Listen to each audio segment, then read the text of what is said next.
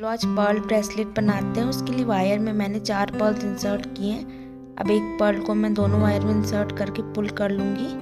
अब मैं same process repeat करती जाऊँगी। वैसे पर्ल ज्वेलरी कभी आउट ऑफ़ फ़ैशन नहीं जाती और इस ब्रेसलेट को हम किसी भी आउटफिट के साथ आसानी से पहन सकते हैं।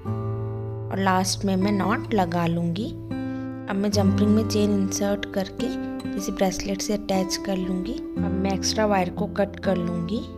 अब मैं लॉबस्टर हुक को भी जंपिंग में इंसर्ट करके इसे ब्रेसलेट से अटैच कर लूँगी। तो हमारा ब्रेसलेट रेडी है।